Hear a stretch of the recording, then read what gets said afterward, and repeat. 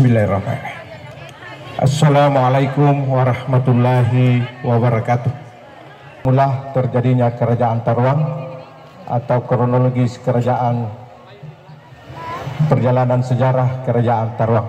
Tarwang adalah negeri yang sangat subur dan cukup terkenal karena negeri ini terdiri dari tiga dimensi yaitu gunung, darat, dan lautan yang lazim disebut Babana Binangaya atau Babana Tarwang. Negeri ini dipimpin oleh seorang raja yang bergelar Karaing Alu, keturunan dari Cambang Alu, Rialu. Pada abad ke-15, kerajaan Majapahit ingin menguasai kerajaan di Semenanjung Jasirah, kerajaan Malaya. Pernah menaklukkan kerajaan Bali dan Bone di Sulawesi Selatan. Bersamaan dengan itu, ingin pula menaklukkan kerajaan di tanah Turatea yang dipimpin oleh Sultan Solo dari kerajaan Majapahit. Pada masa kejayaan Majapahit yang diperkirakan pada abad ke-15, ada kapal atau perahu yang menuju pantai Tarwang lengkap dengan alat peraganya. Pada saat itu, sempat dilihat oleh masyarakat di perkampungan nelayan.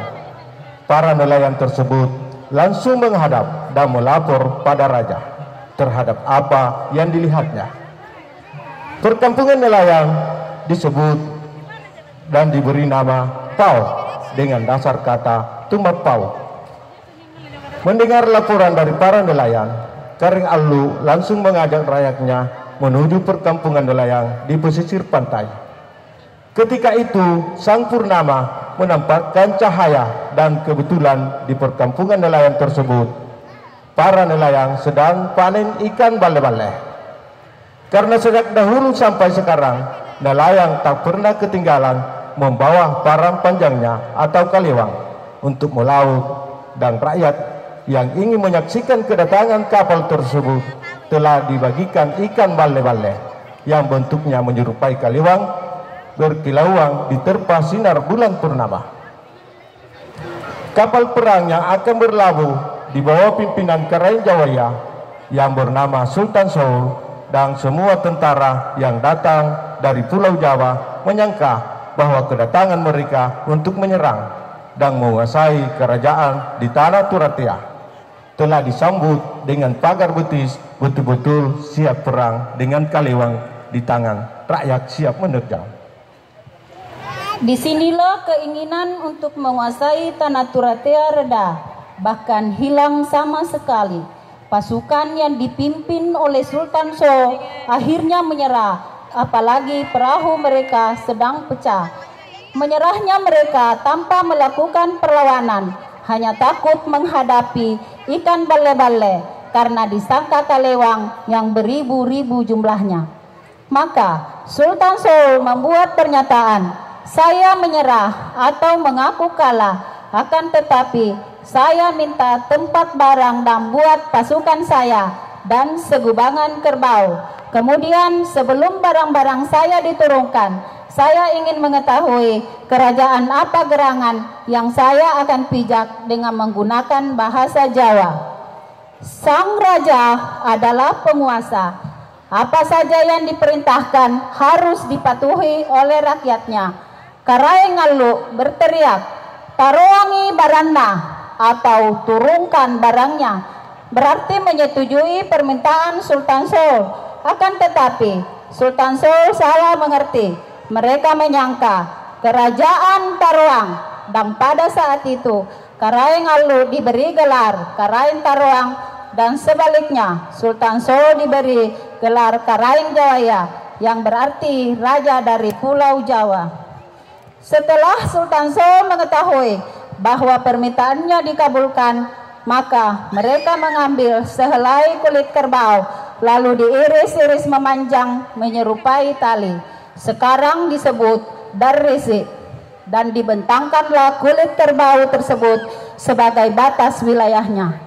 Tepat di sebelah barat sungai yang bercabang tiga yang disebut Pangkana. Di sinilah mereka menetap dan mengatur pasukannya untuk mengadakan perang dengan kerajaan Bantai. Kerajaan Bantaeng pada saat itu sempat dikalahkan dan kembali Karaeng Jawaya ingin menguasai kerajaan Tarwang karena menganggap dirinya dapat menaklukkan negeri ini dengan mudah. Sultan Solo mengirim Tubaranina ke kerajaan Tarwang dengan maksud ingin mengadakan perang. Adapun Karaeng Tarwang bersama dengan hulu balangnya menjawab penawaran utusan dari Sultan So dengan tegas bahwa percuma saja mengadakan perlawanan terhadap kerajaan yang pernah dikalahkannya. Hanya saja demi menghargai tawarannya, maka kita mengadakan saja pertunjukan, yaitu kita mengadu Tubarani dan barang siapa yang kalah, maka kerajaannya dinyatakan kalah. Ini diterima baik oleh Sultan Sohu Karain Jawaya maka sepakatlah akan diadakan pertarungan mengadu manusia pada malam 14 Safar di bawah sinar bulan purnama. Kedua belah pihak masing-masing mempersiapkan tubaranina. Tubarani dari Taruang menggunakan keris kecil pendek dari keringat, dari kuningan dan dibubuhi bisa beracun. Hanya tempatnya saja yang besar. Sedangkan tubarani dari Karai Jawaya menggunakan keris besar, serba besar, sehingga pada saat mencabutnya mengalami kesukaran. Dan pada saat itu sekejap mata saja Tubarani dari Jawa terkapar karena pengaruh dari tikaman keris Tubarani Natarwa. Dari apa sempak? Dari dahulu ada yang meninggal tidak ada tuntutan. Dari pesta adat jenis-jenis Sapara merupakan peringatan hari kemenangan masyarakat Tarwang yang dirangkaikan dengan kegiatan apa karena tanda kegembiraan. Wendy kegembiraan. Akbar Risi Alili sambil membawa lambang kebesaran kerajaan